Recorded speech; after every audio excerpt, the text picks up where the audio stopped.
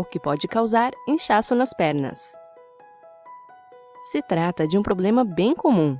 Se suas pernas nunca incharam, provavelmente conhece alguém que já passou por esse problema.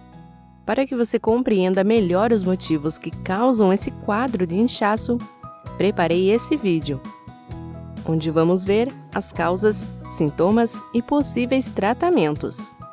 Mas antes de ver o vídeo até o final, me conta quais suas dúvidas em relação a este assunto lá nos comentários. E seu like também será muito bem-vindo. O que causa o inchaço nas pernas? O sangue é bombeado pelo coração e chega a todos os órgãos do corpo, através das artérias, retomando ao coração através das veias. Qualquer coisa que dificulte esse processo causa a dilatação das veias e extravasamento do líquido que está no sangue para o tecido que está sobre a pele, chamado de tecido subcutâneo. As causas mais comuns são ficar sentado ou em pé durante longos períodos, remédios. Alguns tipos de remédios também podem provocar inchaço nas pernas. Gravidez. Mulheres grávidas também apresentam o mesmo quadro, sendo algo bem comum principalmente no final da gestação. Inchaços que não causam nenhum risco possuem as seguintes características: duas pernas inchadas, melhoram rapidamente, não apresentam dor, ocorrem de maneira eventual.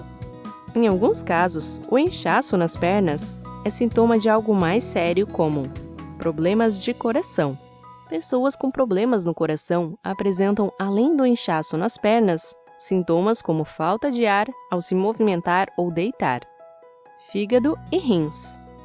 Outros sintomas são inchaços em outras partes do corpo, como barriga e rosto, além de dores e cansaço, varizes e insuficiência venosa. Pessoas que possuem varizes também possuem problemas de inchaço com maior frequência.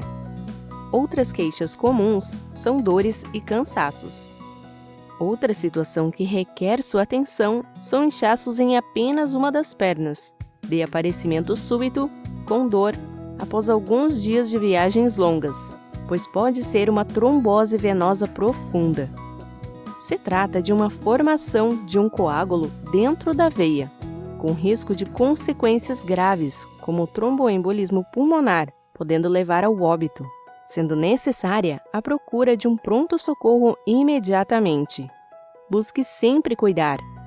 Realize atividades físicas, alongamentos, pois vão te ajudar a ter menos problemas com o inchaço, assim como uma alimentação saudável e vida sem estresse. Se você gostou desse vídeo, te indico assistir. Quais os sintomas da trombose nas pernas? Ainda ficou alguma dúvida? Se sim, Pode perguntar aqui nos comentários e também não esqueça do like. Obrigada!